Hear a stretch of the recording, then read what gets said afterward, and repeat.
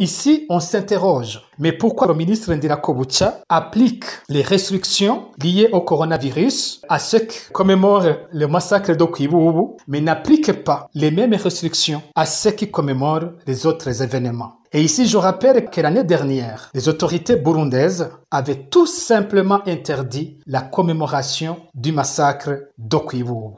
Alors, nous avons des craintes que ces restrictions participent d'une logique extrêmement dangereuse qu'on observe depuis 2015. Cette logique consiste à minimiser tous les crimes commis contre la communauté Tutsi, tandis qu'il donne de l'importance aux crimes commis contre la communauté Hutu.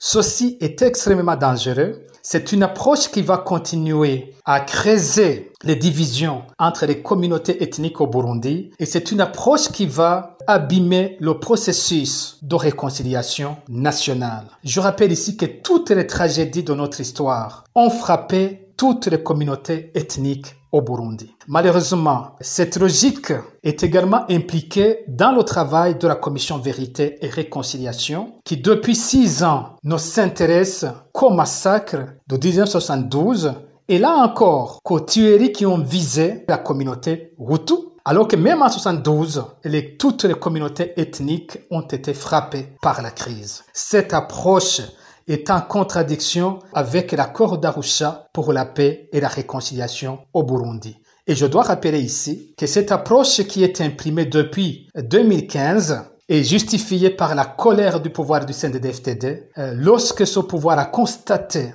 que toutes les communautés ethniques étaient rassemblées dans la contestation du troisième mandat du président Nkurunziza en 2015. Et depuis, ce pouvoir s'emploie à détruire cette unité entre les communautés ethniques au Burundi et veut se porter comme un avocat de la communauté Hutu. Mais je rappelle que depuis 2005, que le CNDD-FTD est au pouvoir, a déjà massacré, a déjà fait disparaître des milliers de Hutus. Donc c'est pas un pouvoir qui s'intéresse réellement à la sécurité, au bien-être des uns ou des autres ou euh, d'une communauté ethnique.